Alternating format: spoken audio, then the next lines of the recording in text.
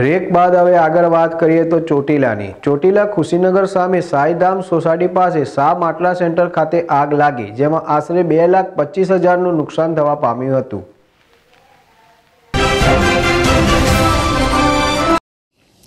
સુરેન્દ્રનગર જિલ્લાના ચોટીલામાં than road ઉપર આવેલ ખુશીનગર સામે માટલાના કારખાનામાં આગ લાગી હતી. અગ્નિ જાણ થતાં ચોટીલા ફાયર બ્રિગેડના અજયભાઈ ચૌહાણ અને હરેશ ઉપાધ્યાય સહિતની ફાયર ટીમના ફાયર ફાઇટરોને આગને સંપૂર્ણ કાબૂમાં લીધી હતી.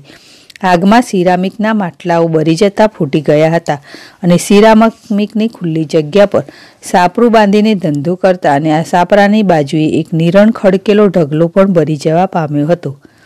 જગદીશસિંહ ઝાલા જેડેશ ટીવી, ચોટીલા.